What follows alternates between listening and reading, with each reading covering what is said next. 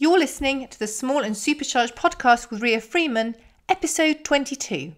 Well, hello, and thank you for joining me on today's podcast.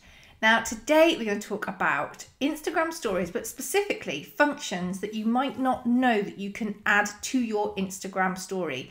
Now, I'm talking about after you've decided whether you want to do text or a picture or a video, you tap the little sticker tab and in there, there's quite a few different functions that you might have seen, but you might not have used yet, or you might not really know how they apply to you. Now, I think that some of these are really, really useful, and some of them have definitely led to, for clients particularly, website conversions, people going over to buy products. We can see that because of the, the stats, definitely an increase in engagement. And I think some of them are really, really useful. So I wanted to just chat through them. Well, just I'm going to just pick on five. Um, I want I want to talk about GIFs as well. I'm going to give six. So five functions and GIFs. There we go. Um, because I think that they're one of these things that when they first appear, you kind of go, "Oh, that's exciting," and maybe you use them a couple of times, and then you don't because you just don't. But actually, they can be really, really useful. So the first thing I want to talk about is GIFs. That's how I say it. GIFs. Um, I think some people call them GIFs, GIFs. I call them GIFs. So basically, these are little moving. Um, I think they're made by taking a series of images that then are put together to make essentially a, a, moving thing. So these are quite a fun way to jazz up your Instagram stories. I'm not sure if jazz is even a word anymore that people use. Anyway, jazz.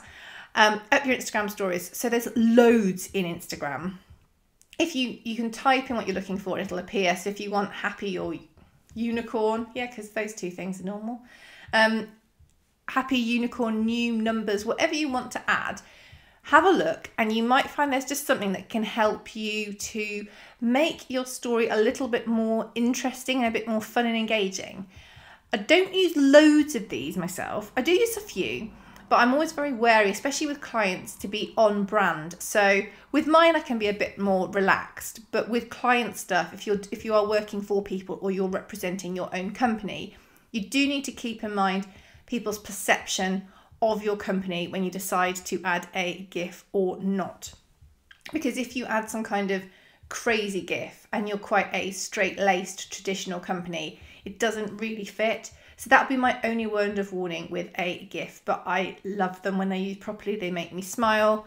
Um, there's a really fun one from um, Frozen. Again, my mum life things coming through a bit, but um, it's oh god, what's her name? Elsa from Frozen, and she kind of wafts along the screen and sprinkles ice everywhere. And I think that when you're freezing, it's quite a fun one to do. But go and have a look. They're a really fun way to add to your Instagram story.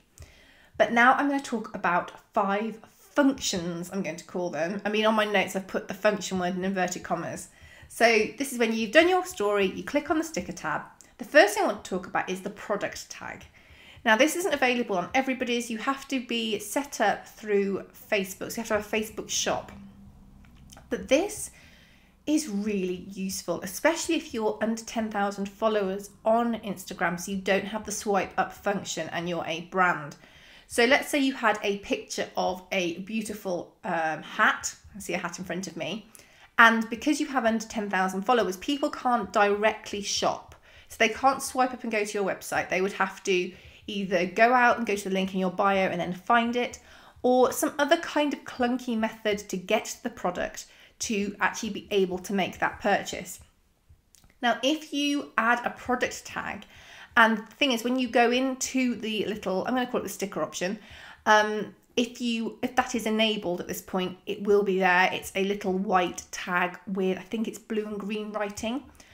Um, if not, go and have a good Google, look at how you set it up. The ones that I have been involved with always start at Facebook because obviously Facebook and Instagram are connected.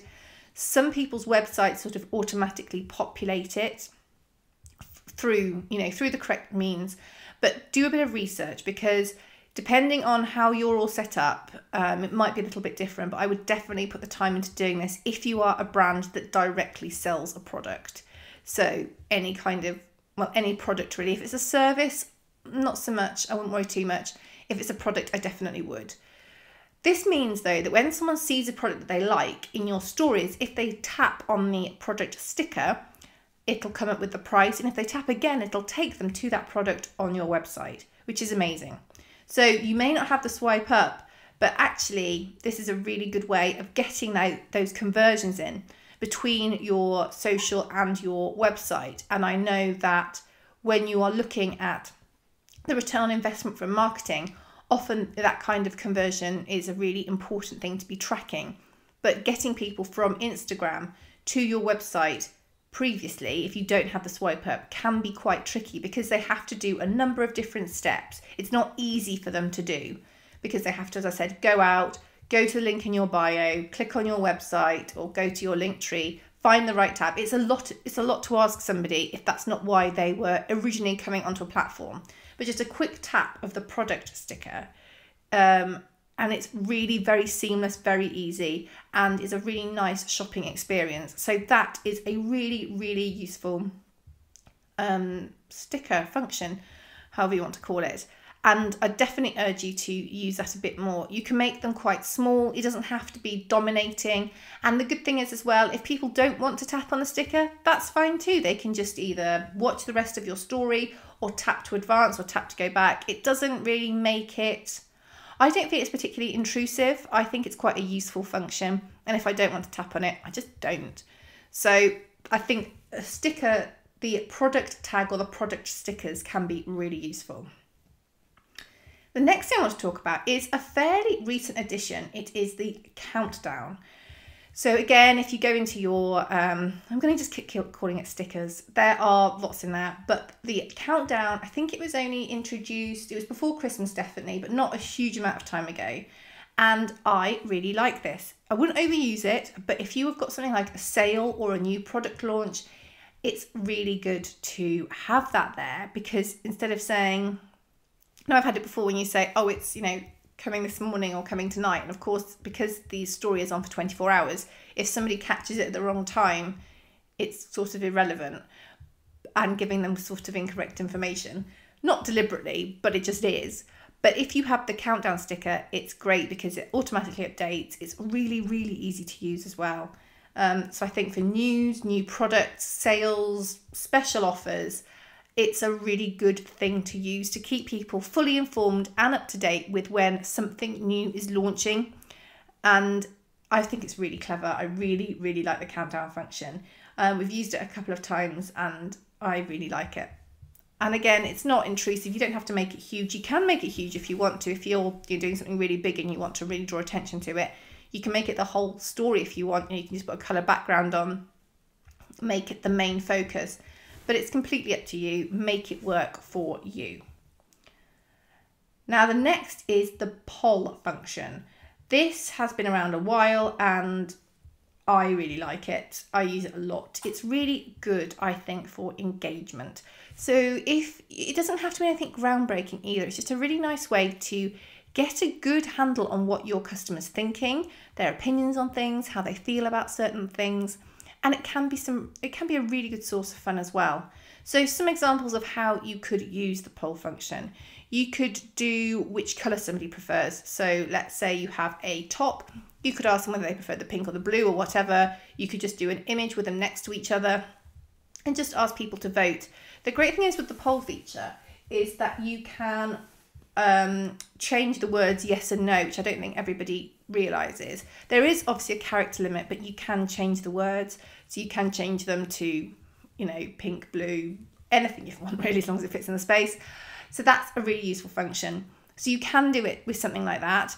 You can just do a simple yes, no. So are you excited about an event or a new product launch? Um, you can ask people's opinions on things. It's a really nice way to get feedback from people and to help them feel involved. And you can also share the poll results as well if you like, which I think is a nice thing to do if that's, you know, if you're asking them a question, especially about a product. It's quite fun to say, oh, you know, pink's done well today, or it, it's nice content, it's easy content, it is content that feeds back. And I think it shows that you really do care about what they've said and you're also valuing their opinion because you're sharing it. So I would look into the poll function a bit more. Again, with all of these things, don't use them on every single story because people will lose the will. But you know, don't ask people to answer a question or enter a poll each time because I think that just gets a little bit boring. But if used well and sort of sprinkled throughout your content, it can be a really nice way to get that engagement and get people interested. And this can work whatever kind of account you've got, whether you're an influencer, a blogger, a vlogger, you use it for fun. Maybe can people can help you decide what colour boots to buy or what pattern of shirt they prefer or even what look they prefer if you're going out somewhere. So it can be really fun and really interactive. Now I just touched on another thing which was questions. Now this is another sticker you can put on and you can type your question in. Mine's currently set to ask me a question, I think, but you can change that to anything you want and then people can type underneath. So these are good for lots of different things. Um, I kind of think that the ask me a question one can be a bit too open in some ways because you're not giving people that much guidance unless in your story, if you're doing a, a video story, you're talking them through different options. Um, I think that it's quite good if it's more specific. I think it gives people a chance to to answer. So I have got the ask me a question one on today, which I appreciate is kind of anti what I've just said. But I've done that because I did a story talking about my Ask Me Anything on the Monday.